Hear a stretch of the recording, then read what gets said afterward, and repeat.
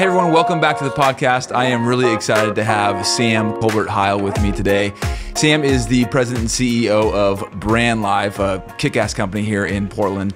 And uh, Sam, welcome to the show, man. Good to be here. So, for those that may not know about you, Sam, or Brandlive and what it is you guys do, um, walk us a little bit down, not too much of a rabbit hole, but walk us down a little bit who you are and how you became the CEO and president of Brandlive. And then we'll talk about all the future work stuff that you guys are doing. Yeah, I grew in Philadelphia. I'm a Philly guy. Okay. uh, in my heart. And I never thought I'd be in Portland, Oregon. I never thought I would uh, find my way, honestly, to the West Coast.